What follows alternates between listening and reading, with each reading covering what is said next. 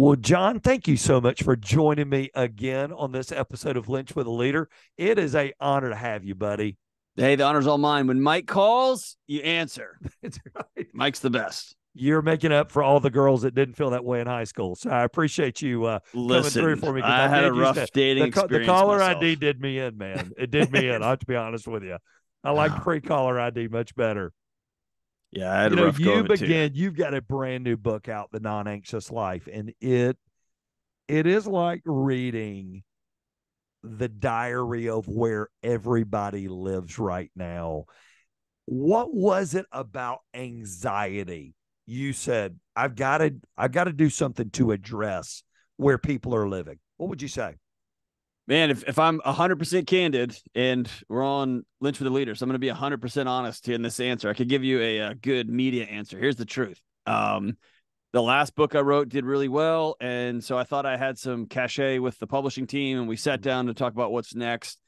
And they said, um, We want you to revisit anxiety. I'd written a Hmm. tiny little book on it a few years ago, and it had sold well. And I said, I want to write a book on friendship or I want to write a parenting book. And they said, you're going to write a book on anxiety and what your publishing team gets to do. And so I kicked and screamed and was annoyed by it and started the project. And about halfway through it, I had an interaction. We can talk about this later, but I had a confrontation, if you will, with my wife in my garage.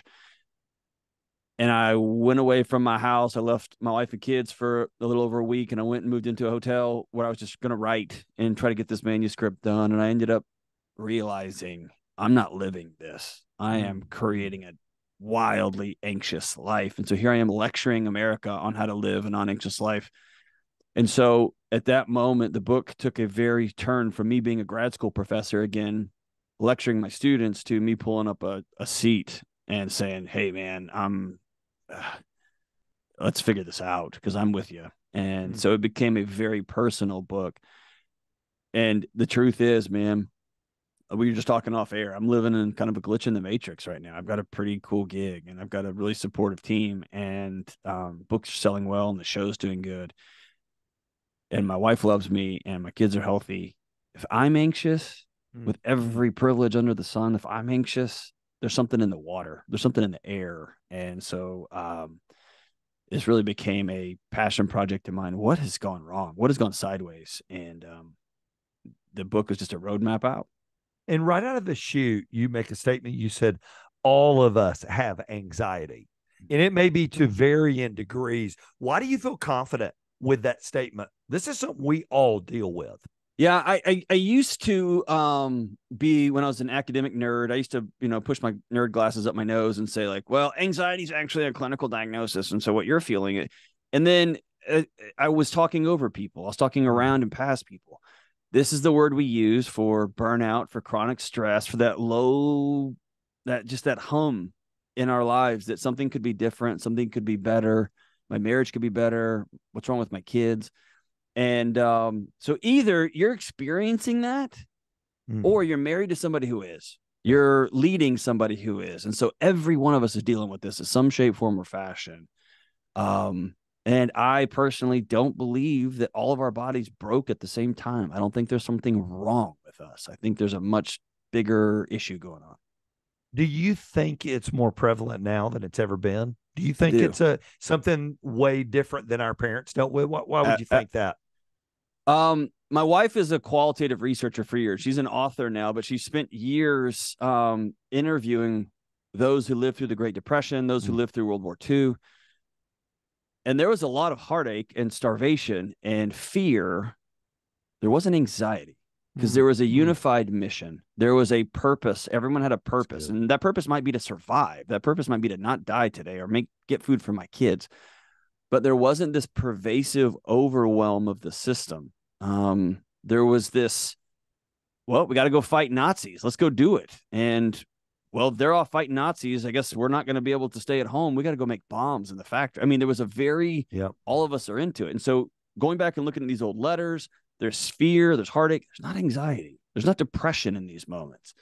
It's when you get home and you land back in the loneliest generation in human history that we've created for ourselves. When you have this ecosystem in the media that's telling you 24 7, 365, that it's all coming down, you're doomed, they're doomed, we're all doomed. And there's nothing you can do about it. There's just this pervasive world we've created. So, yeah, I do think that when it comes to our bodies not responding to the environment as they were designed to, I think we're in un- uncharted water. You know, it's so funny. I was on a call last uh, week with a couple, you know, it was a bunch of ADs, athletic directors across the country. And they said one of the biggest struggles they have right now is hiring young coaches because the young coaches want to avoid avoid burnout so they don't want to take coaching roles at the schools. They're happy with just the daytime part. They don't want to do the after hours part because they don't want to create it more any more anxiety and burnout. And so they were saying and this is a question they asked me they said do you think that burnout did they even understand what burnout means? What do you what do you think about that? Burnout is not i'm working a lot. And burnout is not I'm super, super exhausted. You can be super, super exhausted. I remember um like track meets when I was a track runner and uh football games when I was a Texas high school football. I remember jujitsu matches where I'm so exhausted. I need a group of a, a, couple of other men to pick me up off the off the ground, a couple other teammates to pick me up. I'm so spent. Um, that's not burnout. Burnout is when your body says, I quit Yeah, you are not taking care of this machine and I quit. It's um man, you can't be a coach. I've been a high school coach uh, at the super 5A level in Texas. I know what that uh, what running around is at that level. You can't do that and not sleep, not take mm, care of your mm, body, mm. not have deep meaningful relationships that you can anchor into, not have some sort of faith ecosystem somewhere, some belief in something bigger than yourself. You can't. Yeah. Um, if you're chasing wins, you're going to cut corners. And the moment you lose, you're going to look in the mirror and think, I'm nothing. Right. And so you've got a generation of people that's not tied to a bigger purpose. Used to, when I was coaching, it was very clear we are raising young men. Yep. We are creating the future leaders of our local community. And now it is not the purpose of being a coach is you will get that win or we're all fired. And because yep. uh, our athletic director is using um and the board of this particular high school district is using football to do revenue shortfalls from the state. And so i mean it's it's not a game anymore. It's not a raising young men this unified cultural purpose. This is you will get a w or, or you're done. That's a recipe for burnout man. You know it's you made a statement really early in the book i thought was so good. You said we've created a world where our bodies cannot exist. Right. You know we why have we how have we let ourselves get there? How in the world knowing what we know as smart as our society is how have we done that? I th- i'm going to give you a very unpolitical answer. I don't think that 99.999% of us who've created this culture over the last 50 to 100 years did so maliciously. I just mm. don't Mm. And I look at Washington and I, you know, it's fun to be a conspiracy theorist and be like, they're planning for this. Dude, they can't plan what they're having for breakfast. They can't plan their way out of a wet paper bag. I don't think ah, anybody. So I think the scariest thing about the last few years, I mean, the last 10 years of politics is, is I think all of us thought like there's this there's this group of 10 people that get in a room and figure it out i think after the last decade we've realized oh crap there's no driver there's nobody driving like we're just like you know like we're we're off into the woods man i here's what i think happened i think two things happened simultaneously number one um we discovered the scientific method and we began as a culture on the back end of the enlightenment to worship progress, technology, mm-hmm. scientific advancement, which is quite honestly an amazing thing. And what that allowed us to do overnight was to be more comfortable, to put it simply. Your grandmother doesn't have to die from heat stroke. We created this thing called an air conditioner. It's amazing. And you don't have to have back issues driving across the country in a covered wagon made of wood. We've got leather seats and shocks on a trucks. And and so in this pursuit of comfort, you don't have to be uncomfortable for three days with a virus while it just cycles through your body. And by the way, makes your body stronger as it's as your body learns to fight it. Just take these medicines and you don't you can just sleep and you can just avoid the discomfort. And so in in without meaning to, we all started trying to solve for comfort. And at the same time, we begin to pathologize discomfort anything uncomfortable over the last hundred years was something was a problem to be solved. Too hot, Gotcha. Too cold? Gotcha. And what has happened over time is we used to go to the weight room knowing we're going to be uncomfortable for a while because the growth on the back end of this discomfort is going to make us more comfortable for longer. Mm-hmm. Now we skip the weight room. Don't go in there. Let's just take all the weight off the bar. It's too heavy. And so we've created a world void of discomfort. Discomfort is our enemy. And the terrible part is we've solved for all the other issues. You can pull out your cell phone and punch one button, and food will show up at your office right where you're sitting. You can go turn a knob and water just comes out, right? We've solved all those issues. And so, like our bodies are designed to do, it just moved to the next issue. And now the next issue is the words you say make me uncomfortable. The thoughts you have make me uncomfortable. The way you want to solve this problem is uncomfortable to me. And so now I got to end you. Now I've got to get you out of the ecosystem so that I'm not uncomfortable. Though so we throw words around like safe. I don't feel safe or I don't feel validated. It all comes down to we have pathologized discomfort. And anybody who works with young people or anybody who works in any sort of psychology, ministry knows the only path to resilience and strength and confidence and growth is through discomfort. That's the mm-hmm. only way. And so I think overnight we created this thing. And the second thing we did at the same time is we began to worship technology, the language of, um, hey, those aren't demons. It's just a serotonin imbalance. Um, we cut the strings on these narratives, these binding stories that for generations, for all of human history, people walked outside of their tent and they looked up to the sky and they said, Dear God or gods, please rain or my family dies. Well, now I just turn a nozzle, man. And so I think at the same time we begin to worship technology and advancement in science, we got real arrogant and we placed ourselves at the center of the universe. And I think we're finding out in real time oh gosh, we skipped the weight room and we've been strutting around thinking we're tough. And now real crisis is on us and we don't have the skills or the confidence to do so. And we've made ourselves the center of the universe and the self can't hold that up. That's right. And um, now we're all running around playing whack-a-mole with alcohol and pornography and achievement and hours worked and dollars earned as band-aids for this existential chaos that we've created for ourselves. And our bodies are ringing off the hook with anxiety trying to get our attention. And and in this book you're not saying you're not not going to deal with anxiety. You're going to work anxiety. And you said in the book anxiety is not a bad thing correct it's not the problem yeah that's right it's, it's not the issue the the the policeman slowing you down is not the bad guy he's doing his job he's trying to keep you from getting in a car wreck and hurting a bunch of people Similarly, or your smoke detector in your house. That's the yeah, analogy I use in the book. Great illustration. It's that's not really the problem. Good. It's annoying. You wish you, yep. you, could just stay on the couch while it rang. The issue is your house is on fire. That's what you need to mm. deal with. Anxiety is just a smoke alarm.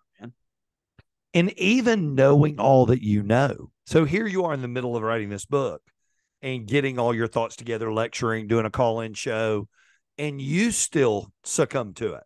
You yeah. still get sucked in by it. Well, so here's what I got sucked into. Um, one of the things to talk about in the book is if your body scans the environment and recognizes that you're lonely, that you're the only one on the tri- on the on the on the plains, your tribe has left you. It's going to make you anxious. It's going to ring the alarms to get your attention. And suddenly I hit, had a hit show on my hands, and suddenly I had a best-selling book, and suddenly I'm getting asked to speak all over the country at schools and colleges and businesses and suddenly I quit going to the Monday night gatherings with my buddies. I quit showing up for the night when they all got together to watch the fights. I skipped the concerts and then I started skipping our calls and then our text threads that we have. I quit returning those right afterwards with my own funny meme. And so I woke up in a hotel room, a number one best selling author with nobody to call and my body was getting my attention. You're not all right. And then I started skipping my workouts. I'll get it tomorrow. I'll get it tomorrow. And uh, I can have a donut, dude. I've been working out hard. And suddenly my health isn't great. And my marriage slowly starts getting some cracks in it because I'm not, I'm, me and my wife become really good co managers because I'm coming in from off the road. I drop all my crap and then I leave the next day. And I don't know how to deal with my seven year old daughter. And so I start avoiding a little bit. And so all of that I could point to and go to a doctor and say, I needed my anxiety to go away. what the doctor, if they're wise, would say is, What is your anxiety trying to tell you? And it's like, Mm, Oh mm. man, I need not even to slow down.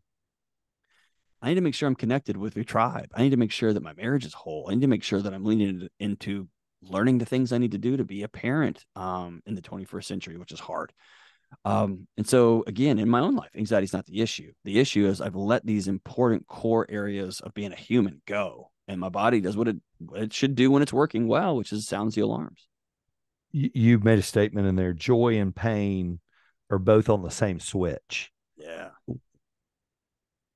Why are joy and pain unable to be extricated from each other?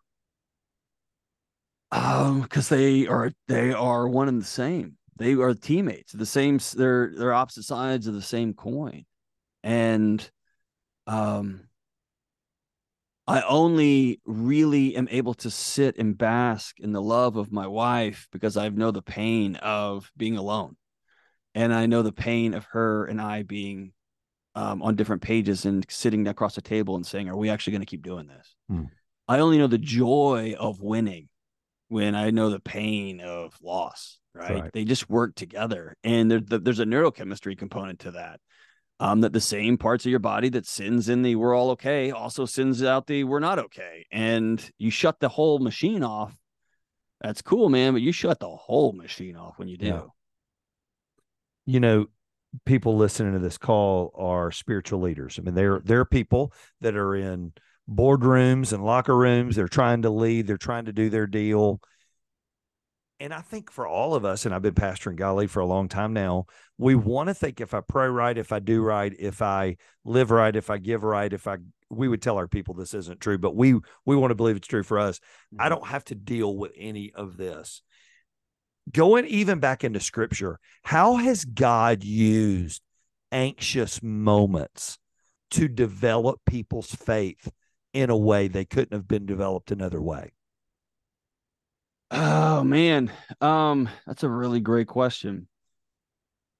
I think um, you can read through Scripture and see with David, with Jesus on his face in the garden, saying, "Do we have to do it like this?" right. Right? I know what I'm about to go through. Um, you see it all through Scripture. Through every every you know every major leader, every minor character is struggling with something that we would diagnose today, right? And I think as a part of the uh, we're, I was talking about earlier about the desire to not feel uncomfortable, Mm. we have pathologized sadness. We've pathologized heartbreak. We've pathologized grief. Oh, you're you're sad. Take this. Just take this, and you won't feel that so bad, so much. Um, and so I think all through Scripture, God uses that. In my own life, where I've seen it powerfully, is, um, man, I get pretty frustrated to be honest with you when I hear pastors who are my friends, pastors in, just out in the wild, say, "Just turn it all over to God."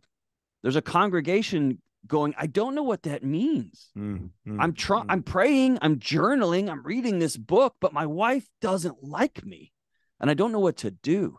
My my um my dream for the American church is to start a human 101 series to stop with all the similarly as I'm really pressing back hard against the academic community that not the Hubermans and the Attias of the word, world because they're talking to other academicians, they're talking to other really brilliant minds solving hard problems. I'm talking to the group of influencers who are using all this huge psychology language trying to talk down to people. It's not helping. It's not helping.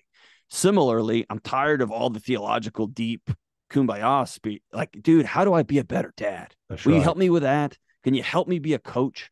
Because I'm drowning here. And you keep telling me just to turn all over to God. And if I'm anxious, it's because I haven't turned over secrets. No, I've turned it all over. I don't know what to do. And so I think God is using our innate body alarm systems just as he designed us to as a wake up call to the church. We're losing people because we're talking over them. We're talking at them. We're not talking with them. We're not talking for them. And so um sorry for that little soapbox man, but I think there's a moment in time when you can't just keep blaming the people who are hurting for their pain. You got to sit down and say, "Where's it hurt, man? Let's start there." Yeah. I don't know how to talk to my teenager. And I don't think teenagers are supposed to hate their parents, even though that's what they tell me in my in, in the popular press. Actually, the neuroscience would back you up. They're not supposed to. That's a recent phenomenon.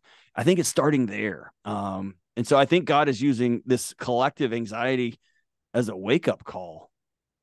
Like this, this is not sustainable, y'all. And um, similarly, when I talk to, to especially to married couples, you don't have to wait until your marriage is in ash to fix it, mm, to heal, mm. to build something different. You don't. And I want to scream my head off. And I know that wouldn't that'd be me acting like a child. It wouldn't help anything at our Washington leaders. Guys, we don't have to wait until this whole thing burns to the ground to try to build something else. Y'all can be grown-ups and stop throwing erasers and crayons at each other and sit down and solve some of these big challenges. And it's gonna hurt all of us. It's gonna be painful and that's the only way forward. And so I, I um, and church is, is a very similar thing. I, church leaders across the country are just throwing their hands up. Everybody's just leaving. It's because they're weak. It's, no, it's because CrossFit is is their new church. Because CrossFit says, "Come in, and we're going to teach you how to live a little bit better life." The book club is saying, "Hey, we'll listen to you. Come on in, we'll give you a better life." I tell leaders all church leaders all the time, church isn't going away. It's just showing up in gyms and jujitsu classes and other places where they're actually meeting the needs of the people. They're not talking down to them. So, uh, I mean, I think God's working hard. Um, I think he is he is moving loudly um, if we'll only hear him. Yeah, and people are looking for something, right? You say it in there. The opposite the opposite of anxiousness is peace. And you say it's possible to choose peace. Yeah. How have you done that? What has changed most about you as a le- leader where you're going, I'm going to live in an anxious world, but I'm going to choose peace in it? How's that changed you? Um, I think it's a series of very, very practical steps. My wife and I started 15 years ago, actually 18 years ago, working. We both come from literally nothing. My dad was a cop and then became a minister, and there were seasons we didn't have money for groceries. Um, and my mom and dad shared one car, and my wife's parents were elementary school teachers. Um, we both decided early on, we both are in the education world for forever, and we were at helpers. We're not going to make any money. So we're going to have to work really hard. And we spent 15 years. And now, Mike, I don't know anybody anything. Mm-hmm. So if I get fired tomorrow, that sucks. And I'm going to go find the next thing, but I don't owe anybody anything. Yep. And so I might be mad if I get fired. I might be really frustrated, but I'm not going to be anxious because hmm. I got an emergency fund I've been saving up for a decade, right? Because I drove a $3,000 truck when I was a dean of students at a law school because I don't care what you think about my car. I care that my family can breathe, right? Mm. So hmm. there's some steps like I'm not going to owe anybody any money. Every September, um, in fact, it goes out tomorrow. My wife and I send an email out to all of our family and we tell them, here's when we are going to travel or if we're going to travel for the holiday season. There's all clarity. This year is going to be a crazy year because I'm on the road and it's all over the place. So we're going to go for one week and we're going to visit everybody for 48 hours. And if they want to get upset about that, they're grown-ups and they get to do that. Mm-hmm. But that's mm-hmm. not my responsibility. What's my responsibility and my wife is to see what best honors our family, right? So there's some very practical things yep. there. And then on the existential side, as a leader, I am working hard and I've been working hard for the last 10 years to stop losing sleep over things I simply cannot do anything about. And that's the hardest thing in the world. Um, I get one vote every two years and I get one big vote every four years. That's what I get. And I can yell and scream and I can watch the political shows 24 7, 365. Mike, I can do literally nothing except I can love my neighbor.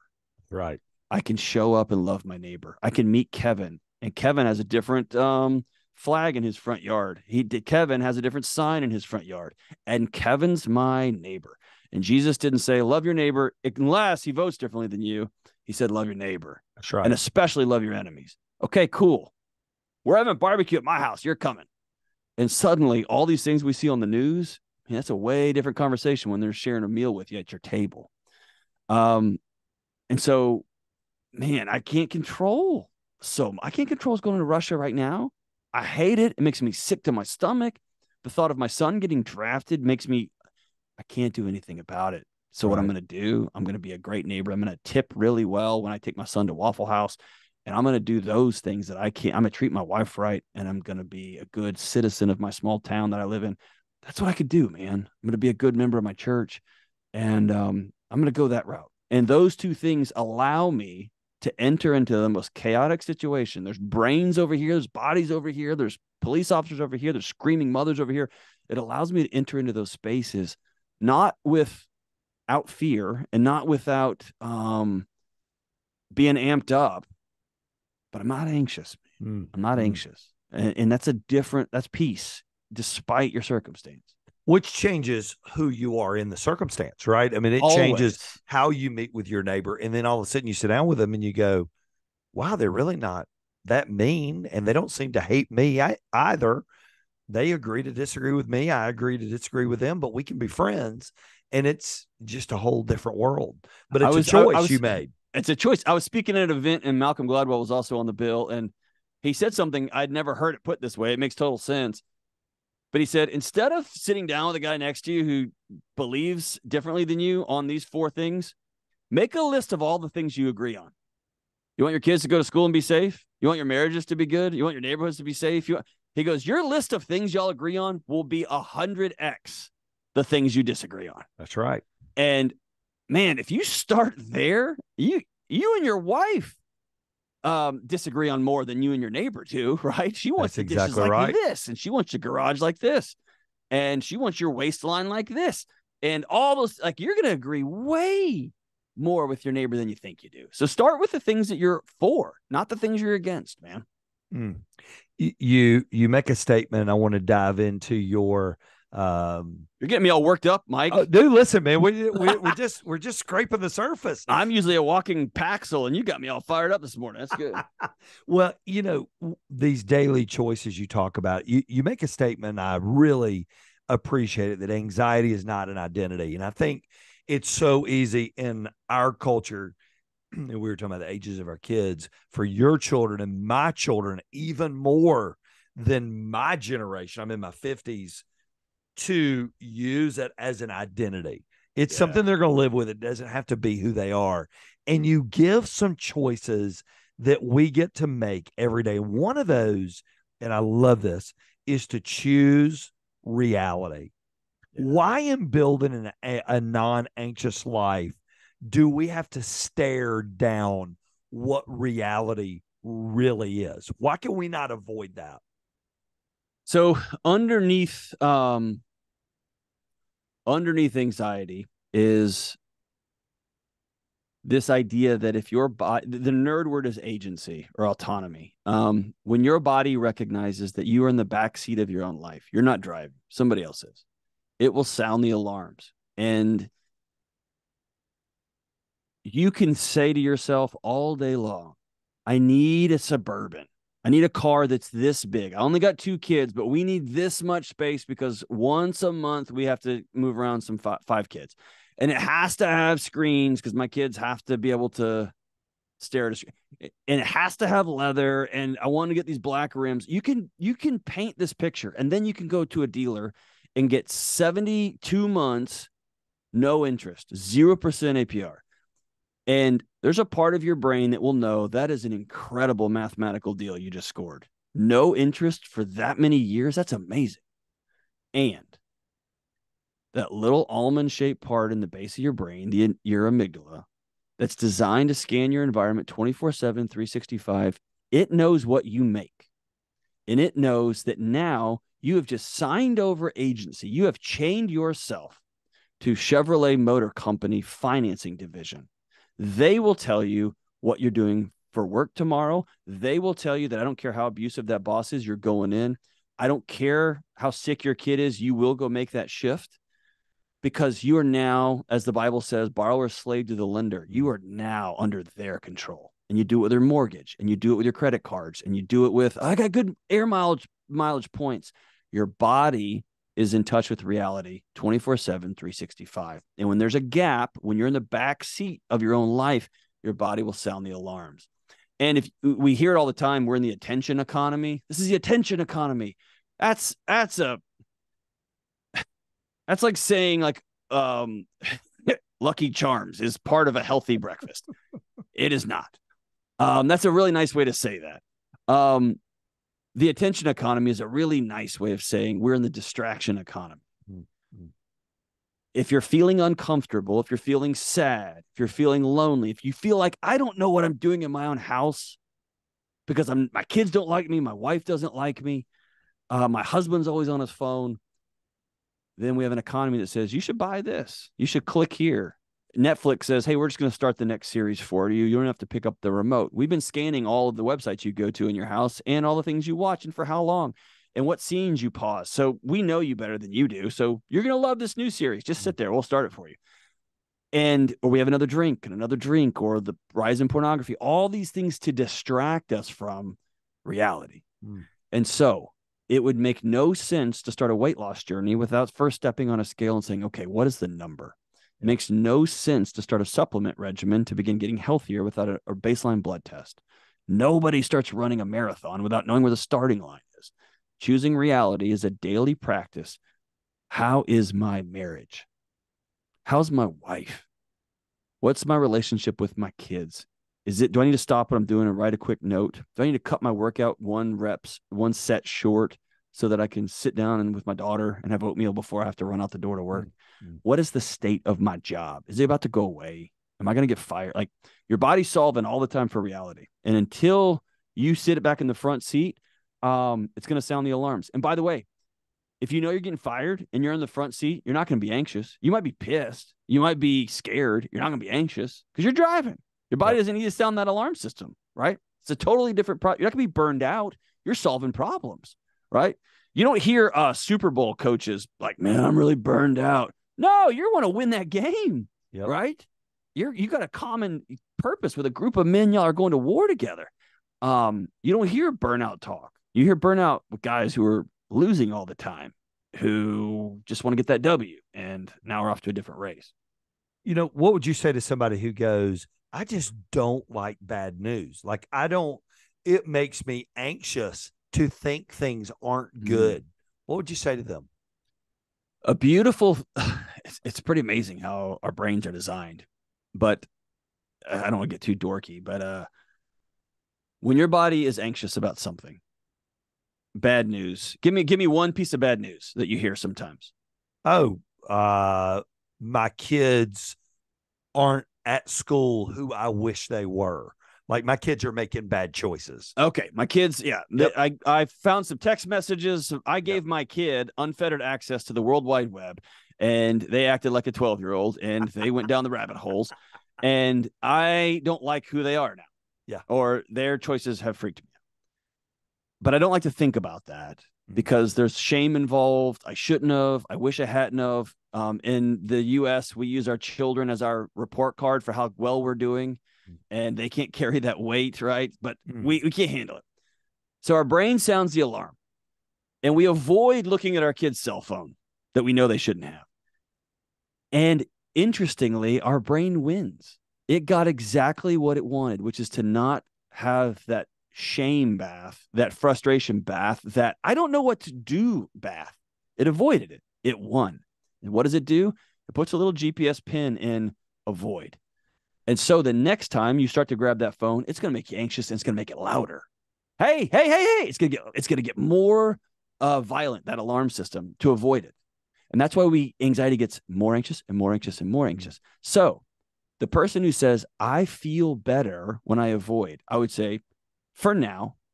Similarly, the problem with alcohol is it works. Yep. The problem with um have stepping out on your wife when your marriage is on life support it's awesome to feel alive. It's awesome to have another person look at you for the first time in 10 years and say, Oh, no, I desire you.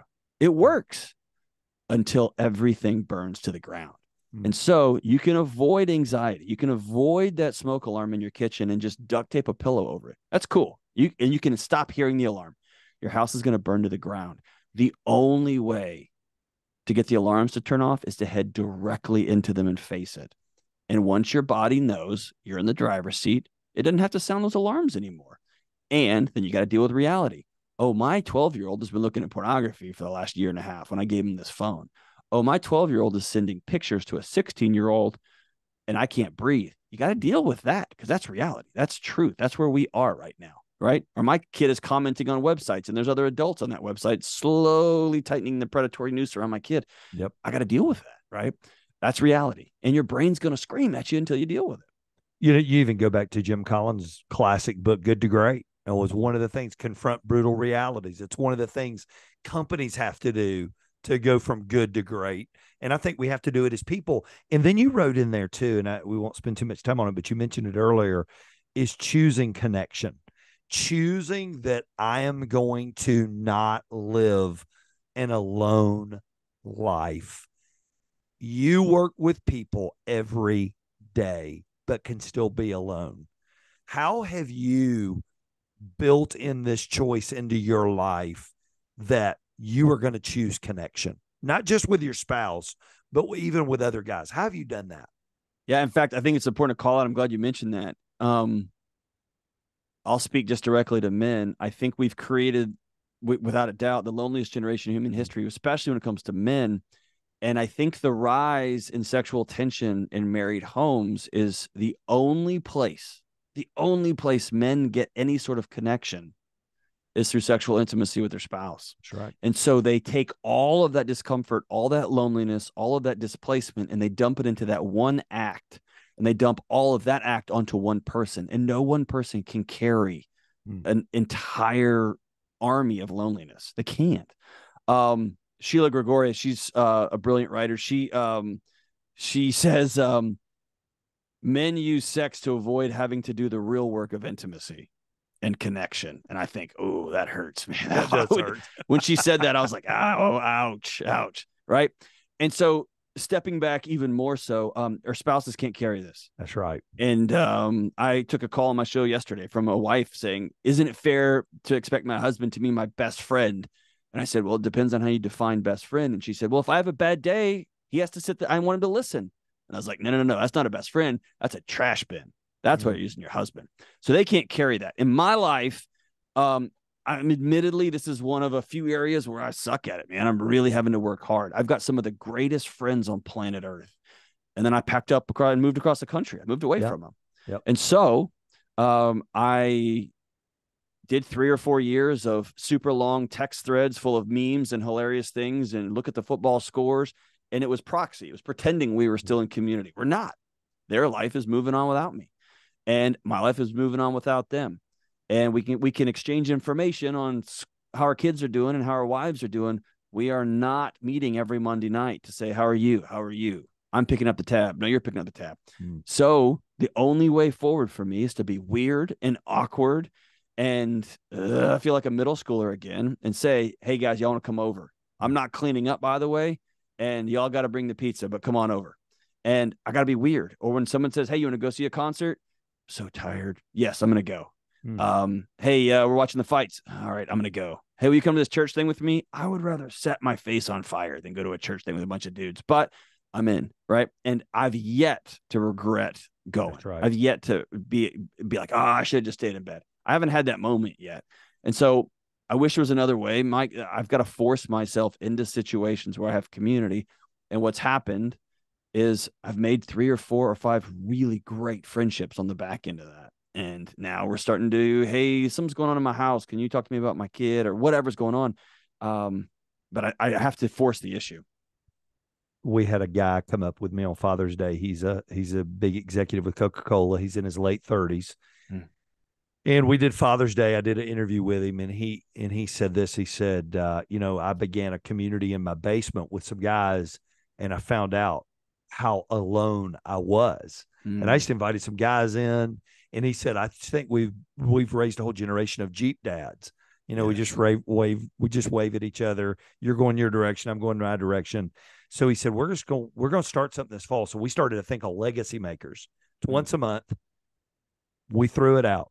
200 guys, 200 young dads wow. who were right where he was. We we announced it one time. Wow. But that's how hungry guys were of going, and we put them around tables of eight. That's your table. Once you establish your table, that's your table from then on. And we unpack a, a spiritual tension, mm-hmm. and then you mm-hmm. just talk at your tables. but it showed the desire for connection. And they needed one guy. They needed one guy to go, yeah, that was me, Yep. but I want to do something about it. And then this last one I want to uh, to sit on before we get off, choosing belief. Mm. Why is it so important to live a non-anxious life that we're grounded by a belief in something that's bigger than us? What would you say? Man, that this chapter wore me out, man, because I wasn't gonna put it in there because I knew it was gonna make everybody mad. It was gonna make my close friends who I love and our kids play together, and they're I'd uh, man, I would show up in the middle of the night for them, and they are as atheists as the day is long. They're great scientists and research writers, and I knew it was gonna also make my Christian community friends. That that's my tribe, that's my gang, um, because I was painting a broader picture. Um, but I think the easiest, best way to distill this down is from the great David Foster Wallace, which was an atheist writer, um, who says, We are made to worship. Make no mistake, atheism is a privilege of the modern era. Um, and so, if you are a being created to worship and you don't have something bigger than yourself, you're going to worship beauty and you'll never be good enough. You're going to worship money and you will never have enough. You're going to worship shiny things, and there's always going to be another piece to add to your collection. And that made me go, "Whew." and then I look at some of the big psychology writers, quite honestly, so liberal that Bernie Sanders is like, well, let's dial it back a bit, and so conservative that Trump's like, ah, it's a little bit far to the right for me. And everybody is writing about communities and civilization for all of human history have had binding stories. Mm. gods or a god that said this is how y'all are going to act together. This is the rules. This is how y'all are going to love. This is how you're going to um, hold each other accountable. This is how you're going to reconcile and repair relationships. And in one fell swoop we've gotten so arrogant we just cut all the strings. And even with all the the not all of them but the some of the foundational psychological tenets the goal was self-actualization when you get safety, you get money, and you get relationships, and you get all these things, then you can critically think, and then you're self actualized. Then you're the shining beacon on a hill. And I think if we look around, we're all there. We have everything, Mike. And the self can't hold. Mm. It was never intended to hold up the universe, and we don't have a plan B. And so, what I'm offering with the choose belief, um, me and my family, we're followers of Jesus. We, we believe in God great. I've got great friends that are atheists that believe in the birth and life and death and resurrection cycle of nature. I'm going to die and become part of the soil, and then I'm going to become part of the next tree. Cool. Bigger than you. I've got friends who are Muslim, friends who are Orthodox Jew. I don't care what you are believing in, but you have to walk out your front door and take a knee and look to the heavens and say, Dear God, please reign, or I don't live and my family doesn't live and there's a humility there. And i think i'm i try to be pretty clear in the book belief is not about grabbing tighter. It's not about holding tighter. It's about letting go into this giant love that is bigger than you that Mm. encompasses you in a way that you never thought possible by trying to rule wrangle and get all the rules in the right order and do all the right things. It's so much deeper than that. Um and only then when your body feels like it's holding just imagine yourself holding up um a, a set of weights that you can't hold much longer and your body starts rattling and shaking that's the psychological equivalent of being anxious while trying to hold the universe up. Let go. Let go. There's a higher power. God's real and i just i don't still care what you have to say about it anymore. It's real. And um, you can call it whatever you want to call him but god's real. And when you submit to that your body goes and now you can go do the real work and heal your marriage and go be a neighbor worth being a neighbor Mm. right and you can be a better parent Final question. You talk about it in the book. You're a Christ follower. To know that he looks at you and says, I know it's too big for you. Give it to me. I know that life's too much for you. I don't want you to bear the burden. I'll carry your burden for you.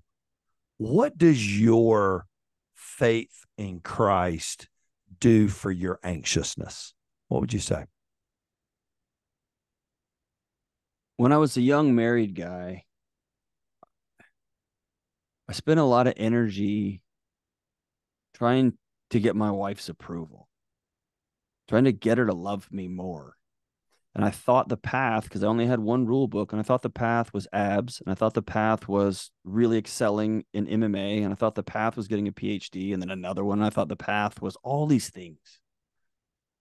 And when my marriage was hanging on by a thread, and my wife and I had to sit across the table from each other and say, Are we going to be grown ups and do this? Or is this where we part ways? And if we are going to do this, we got to rebuild this thing from the floor up. And it was part of those discussions when she said, I feel like I, I've been in love with a ghost because I just want you. And I didn't have a context for that. I didn't have a psychology for me being enough apart from my utility, what value I have, how good I look, or how much money I make. And when she said, John, I'm proud of you and I will never leave. And for whatever reason, in that season, I finally believed. I listened, and my whole nervous system went. And so on a a hundred X scale, when Jesus says, dude, I don't care what denominational rules you've put into place for yourself that you're trying to live up to, they're not mine. And I don't care what political person you've gotten in line with trying to find your path to me. I'm here. And if I was in front of you, you think I would just shake my head in disappointment, or you think I would look right past you. I would hug you until you couldn't breathe. Mm-hmm and there's so there's for me there's rest in that. And only then can i then go do the crazy wild ambitious nutty things that i've that i feel like i'm good at and i feel like i've practiced for a long time and i feel like my community needs then i can go be the person i'm being called to be. And um so i mean it's a it's a it's an exhale. It's peace. It's i'll carry that burden man. Um let me grab that for you. And dude, or it's more like, dude, I've been carrying this all the time. Yeah. You know, when you're carrying something and like you're carrying something heavy and your two year old son is like hanging on it, kind of thinking yep. they're helping. They're making it worse. It's like, hey, I got this. I got this. Uh, just have a seat, man. Life's good. And um, so it, that's it. That's it for me.